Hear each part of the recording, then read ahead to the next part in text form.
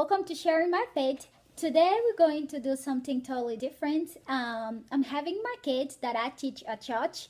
They're going to speak to us about the Word of God, and I picked three of them that they did speak to us today at church, and they not post it here so you guys can receive it from them too. They are just kids, okay? So go easy on them, and if you want to encourage them in the comment below, that's awesome. And thank you so much. And I decide from now on, I'm gonna start having them each time when I pick a kid to preach or to speak and i'm gonna have a video posted here and share my faith. And enjoy the message from those lovely kids. And i'll see you guys in the next video. Go. Hi, I am Gloria, and I'm going to be in Psalms chapter 119, verse 1 to 4. And it says, Blessed are those whose ways are blameless, who walk according to the law of the Lord. Blessed are those who keep his statutes and seek him with all their heart. They do no wrong, but follow his ways. You have laid down precepts that are to be fully obeyed. So, what I want to say is that um, people who are blessed, they don't break the commandments. They stay true to the commandments. They don't just read it and be like, yes, yes, I am blessed because you read it and just do it one day. You got to do it every single day. And he also says, Blessed are those who seek him with their hearts. You can't say you know God just because you read the Bible or just because people tell you to. You have to know him within your heart. You gotta know him, understand him, and just know that he's there with you and um, yeah. And to be able to be it says blessed people you um, are blameless, which means they, they don't do anything. But you can be blessed and still do like sins, but not too much. That's not good. And um,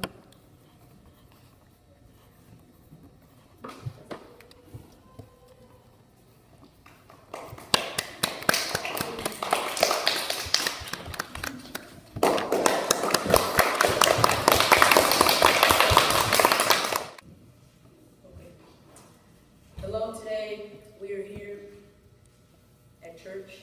My name is Jackson, and today we will be learning uh, on Ephe- Ephesians 4 uh, 2.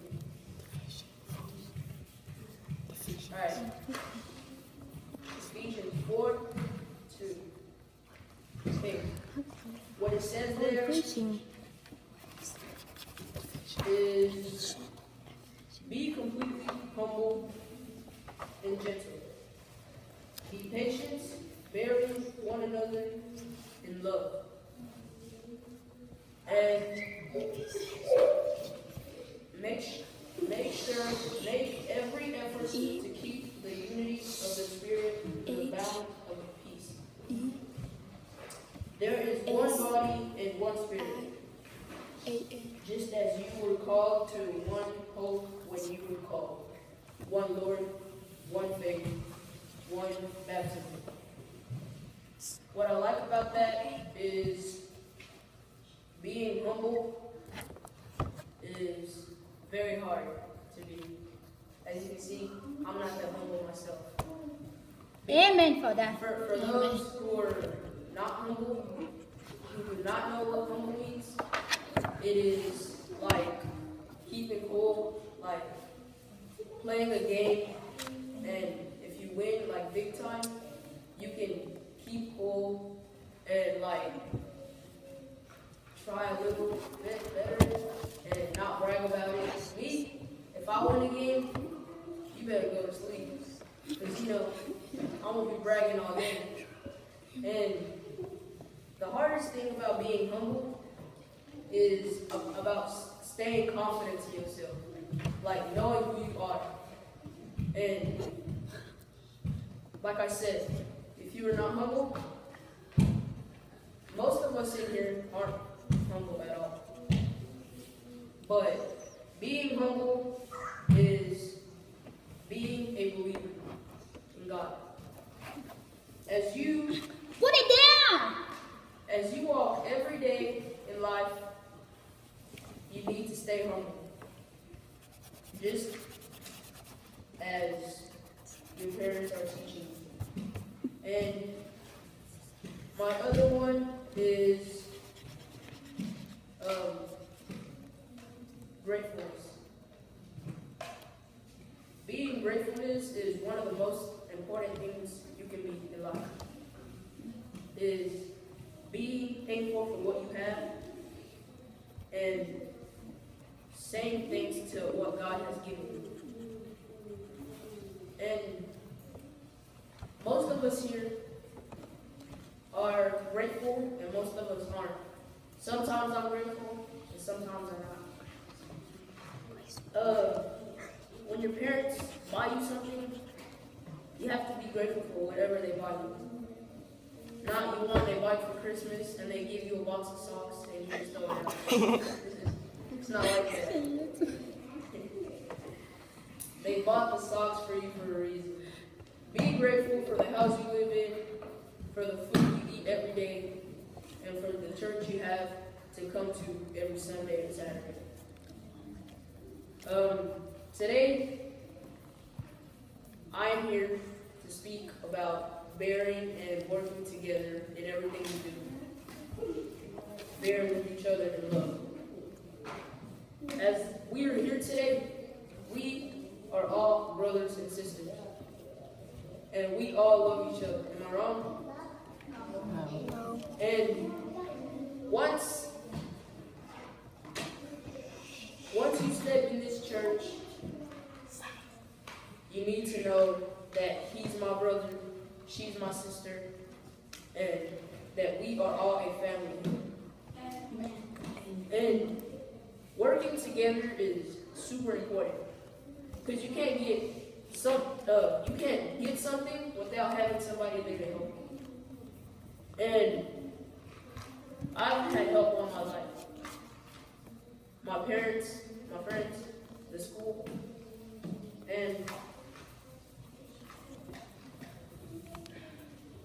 go through life, there will always be competition. And you can't just achieve it by yourself. You can't expect to go through life by yourself. There will always be somebody help.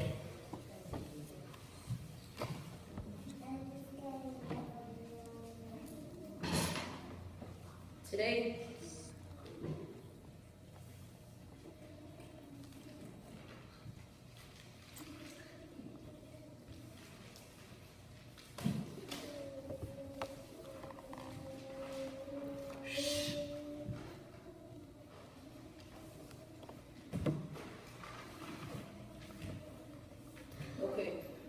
I'm gonna read this again if you want to write it down or if you can remember it.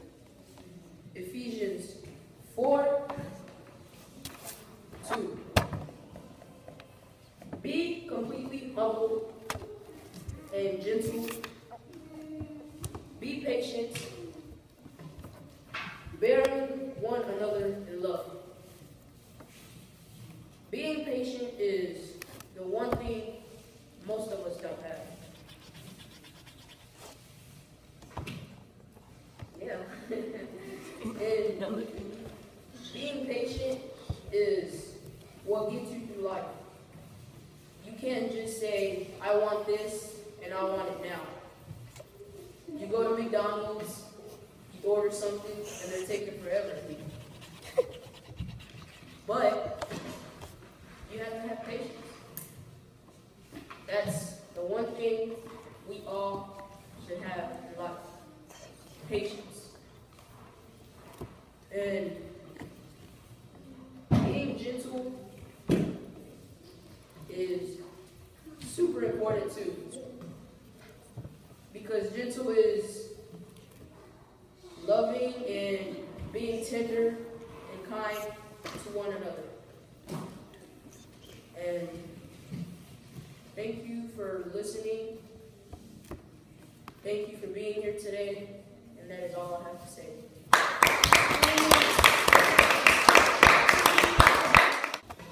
My name is Ali. I want to talk, I want to learn about Abraham's family.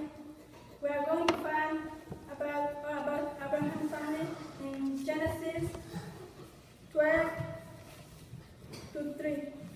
It says, the title said the call of Abraham. Abraham. The Lord said, 12.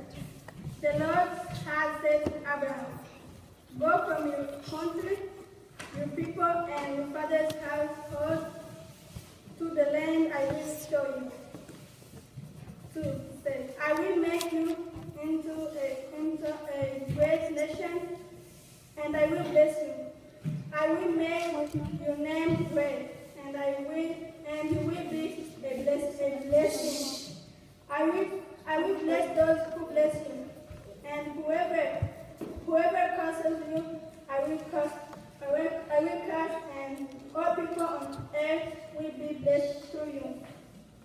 And Sister, can you repeat the, the chapter so they can get it? 12, What's the name of it? Genesis. Genesis 12, what? Genesis 12, Genesis 12, 3. Yes. Okay, write it down. Okay. All right. And then you guys just write something important you get from her explanation. Don't write everything. Just write something important. And then you have to write something. You have to get something. Okay, go ahead, sister. And the, Abraham is the father of all nations, as we know. Jesus said to him, I will bless you, and I will bless those who bless you. And whoever who curse you, I will curse them too. And Abraham, Abraham was um, hundred years old without no, no, no kids. And God said to him, Go, go away, go from other country, I will show you. And and Abraham listened to the voice of, of God and he went, he went where Jesus told him to go. And that's why that's why Jesus said, I will bless you and you will become the father of all nations. That's why people like to say Abraham and Jacob. Yeah, that's why Abraham is the father of all nations. We have learned a lot, lot of things about Abraham. And Abraham, before before God changed his name, was Abraham. But after Abraham, God said, You are not no more Abraham, you become Abraham. And Jesus said to to Abraham, Abraham again, and then he said, Your wife is not more is not more Sarai. She becomes Sarah. That, that's when Sarah, Sarah becomes Sarah. When she was Sarah before, she, ha, she has no kid. And that, that's why when God blessed Abraham's family, he gave Abraham his son. Yeah. Then that's why we must follow God. So she, he can bless you, he can bless me through Abraham. Mm-hmm. When we have to read the Bible so we can learn more about Abraham, more about heroes. So Sarah, Sarah has no, she did not want Abraham to talk to him. To him. Are you waiting for the promise God has told told us? Then Sarah said, No, it's not impossible. We can't have kids. Look, you are you are hundred years old. You have no kid. I am. I think she said I don't know, like ninety. I don't know. But these are the promise of God.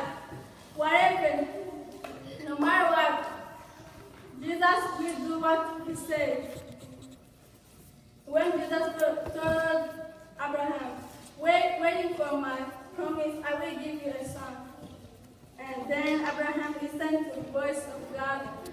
We must we must learn how to listen and respect the voice of God. Abraham listen and respect the voice of God as, as God told him. Go away from your country, go away from your father's house, and I will show you where you have to go.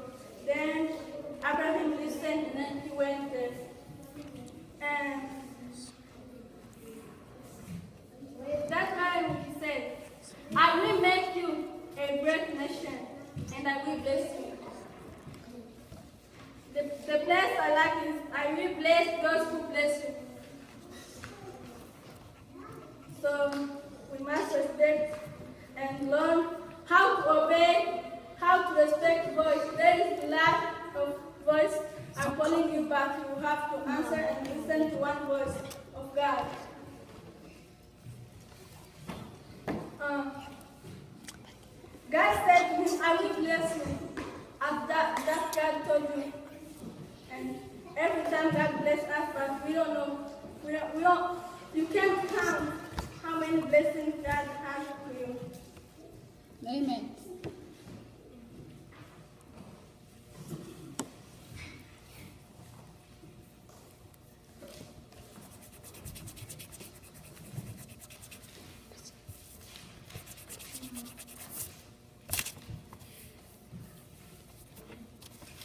Um,